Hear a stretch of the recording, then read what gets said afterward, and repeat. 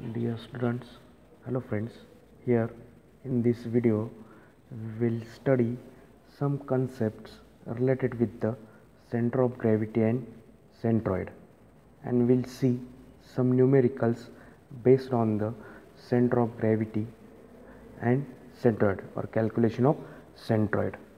So center of gravity is the point from which the weight of body or system may be considered to act. And the centroid is the, it is the geometric center of the body or any plane figure. And centroid is applicable only for plane figures or the figures that those who are having only the area concept. Now we'll see some numericals. Now here first we'll see what is the procedure to solve problems on finding out position of centroid for areas? For areas the figures those who are having only areas and we need to fi find the position of centroid for that area figures we need to follow these steps. First step step 1 divide the area into simple figures. Then second one prepare tabular form as below. That is the component or figure simple figure. It may be a rectangular it may be a triangular it may be a circular. Then then area of figure then centroid x or x distance from simple figure then centroid y for simple figure then calculate ax and ay then main position of centroid is defined by finding out x bar and y bar. So formula for finding out x bar is x bar is equal to summation ax divided by summation a. And for finding of y bar the formula will be summation ay divided by summation a. Now finding out centroid of lines or wire bands, wire bends. So procedure will be same. We need to find this x bar and y bar. Now we'll prepare the table as shown here. The component of line then second length of that component then centroid x for the same centroid y for the simple simple figures or just the portions which we have selected. Then lx and ly. Then the formula will be x bar is equal to summation lx divided by summation l and y bar is equal to summation ly divided by summation l. This will be our final answer. So, our aim is to find out x bar and y bar. Now, now to find centroid of solid figures, solids. So, here also we will prepare the table as shown.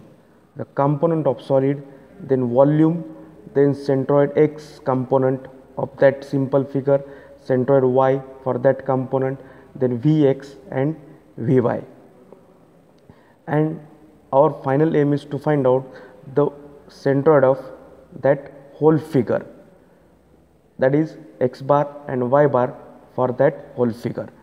The first will be x bar is equal to summation Vx divided by summation V and y bar is equal to summation Vy divided by summation V. This will be the some theoretical part how to find the centroid of any figure, any given figure.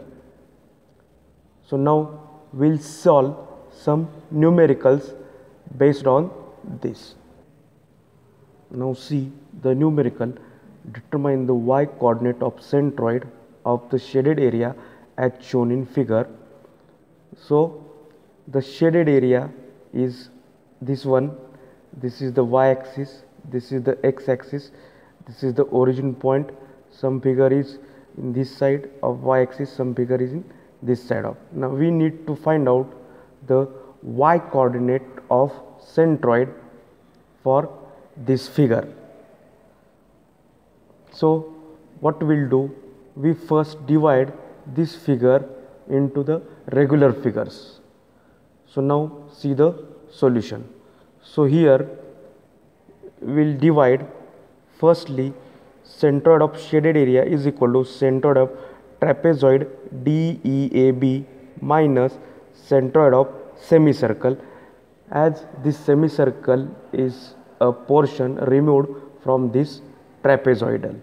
So first we'll find the centroid of this trapezoid then we'll find the y component centroid of this semicircle then we deduct the centroid of this semicircle from the trapezoid then we'll get a final answer the centroid of this whole figure. So now as far as your trapezium is concerned as like prepare the table serial number component then area then x coordinate y coordinate separately for that simple figures and then ax then ay our formula is as far as x component is concerned summation ax upon summation a. That is the x x bar. Y bar is the summation ay divided by summation a. And here they have asked in the exam determine only y coordinate so no need to calculate x coordinate. Correct now for trapezium area will be 3 to 4 then as far as your x centroid centroid of this trapezoid x coordinate is 0 and y coordinate is 10 so y coordinate is 10 above. So you know you will get directly formulas for finding out centroid of regular figures. That is the centroid of trapezoidal figure centroid of circle centroid of triangular figures. Then for semicircle area as this minus sign indicates as we are reduce subtracting this centroid so we have taken this minus sign then x 0 y 3.45 millimeter and then the ay summation of ay is this and y bar is equal to summation ay upon summation a is equal to 13.51 mm so y bar will be 13. for as far as this figure is concerned the y coordinate of centroid will be at a distance of 13.51 from this origin point above this. So here there will be something centroid of the area or y component of centroid of this figure.